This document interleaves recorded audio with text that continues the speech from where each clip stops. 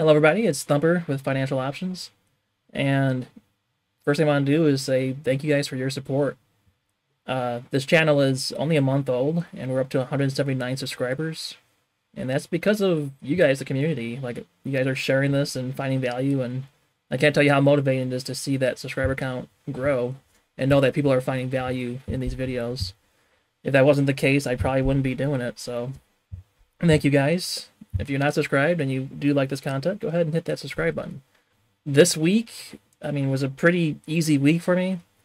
A lot of movement in my positions, but in terms of managing them, there wasn't really much to do.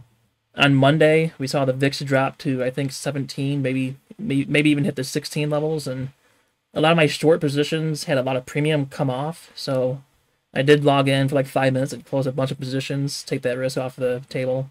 I wasn't quite sure if the market would go up or down from that point, so I decided just to close those, take that one, and go away. Uh, Tuesday, because I took away those positions as VIX continued to drop and premium got sucked out of contracts, and I'm left with my long positions at, at this point.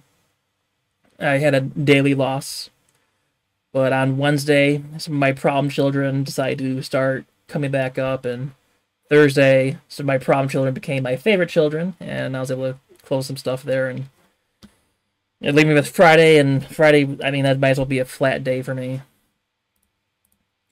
So let's jump into the project report. I was actually quite shocked to see that I'm at all-time highs again. So 176, almost 177. Couldn't give me those two bucks, could you? uh, I would have been fine with like a negative 2% return on this month, but instead we came out ahead, so that's pretty cool. Uh, realized premium. I closed some leap positions, and that really jacked up the premium I received for May. At one point, I think I was at negative 2300 for realized premium for May. Uh, this week's trades, uh, like I said on Monday, these are pretty straightforward. Premium got sucked out. I mean, here we had a strangle that I was close both sides. I think I put this on last week even, so I was able to get out with about 200 bucks of profit just because premium went down on Monday, and I just decided to close everything. Uh, for the trades on Monday, this ARC 106 put, this was a rolled position, so this was actually a, a net loss, I think, of like 200 with that rolled position. But I wasn't too confident that ARC is going to stay up, and just decided to take what I had here now instead of gambling with it. Well, Tuesday I did nothing. Wednesday I sold uh, some covered calls against a leap position on Virgin Galactic. It's, Virgin Galactic went up quite a bit. I think it went up to 27. So I wanted to make sure I caught some of that profit in case it chose to bleed off on Thursday and Friday. So if it did go down, I would have collected a nice 3,250 bucks and call it a day in July. But instead, on Thursday, Virgin Galactic continued to go up. You got to the point where it was like I just want to close this out. I'm gonna take a loss on those shorts I put put on the day before, but overall my leaps gave me a pretty nice profit.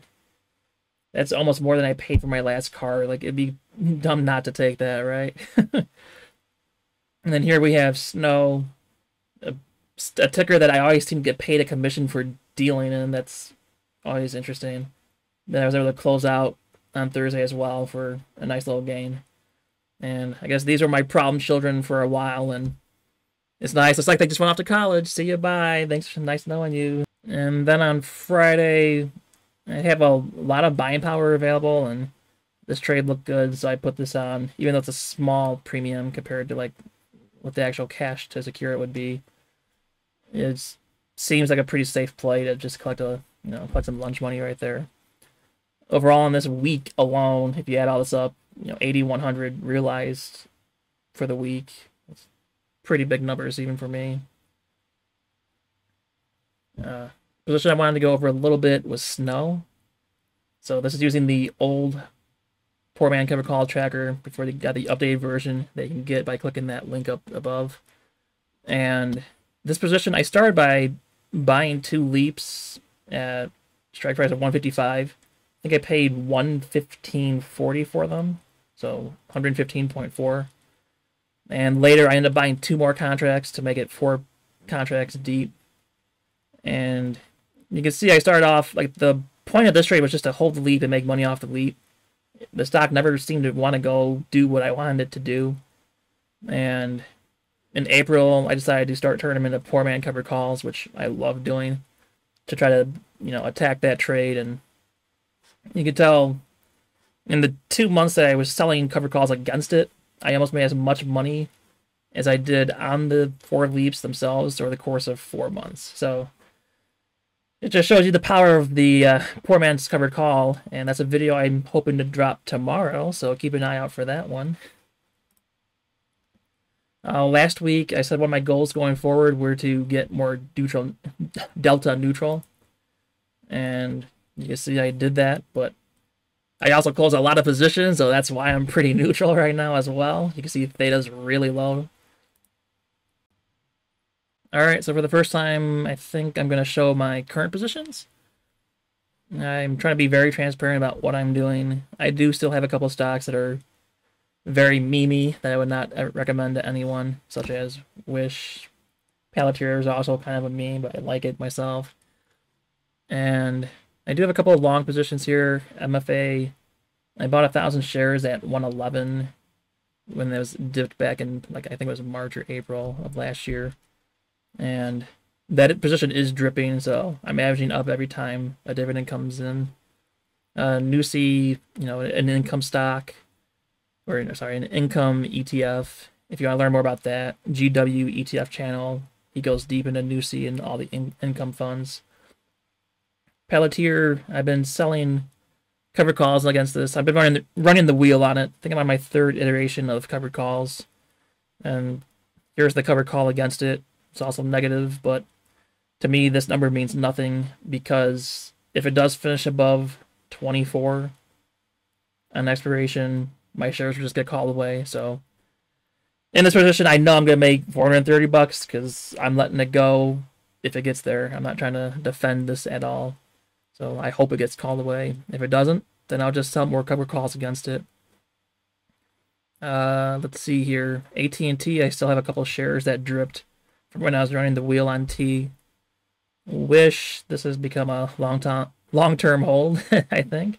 Which is fine. I knew going in that I could end up back holding this for a while. Eventually I think Wish will be up. I'll just be holding this for quite a bit. And to make it a little worse, I was getting greedy and sold some puts on it and even double down on that position. So I'll be owning a lot of Wish eventually. I've rolled this out once. I may take assignment next time. Uh, these positions, pretty self-explanatory.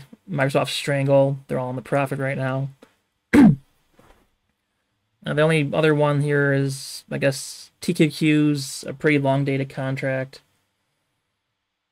And then Rocket is a leap that just holding on to and waiting for Rocket to go back up.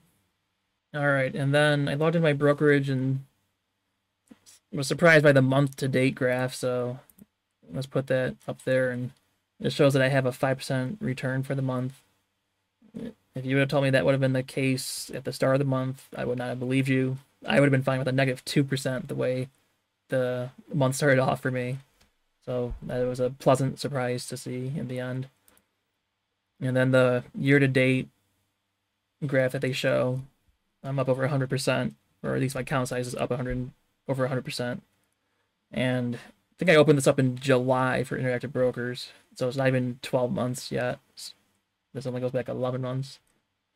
Now, I'll say, like, don't expect these type of returns. This has got to be a fluke, right? Uh, it's been a huge bull market. Volatility was high. It's basically the perfect environment for doing the strategies that I'm doing. So you just don't expect these returns. I would say expect 1 to 2% a month. If you get more than that, great. If not, it's okay too, but like aim for like one to two percent if you gotta set a goal like that. And with all that said, you know, join the Discord. I'll put the link in the video description again. We have a nice group of people that are all sharing their knowledge and just helping each other learn how to do options. I am not a financial advisor. Any information included in this video is for informational and entertainment purposes only. It is not intended to be investment advice. Please seek a licensed professional for investment, tax, or legal advice.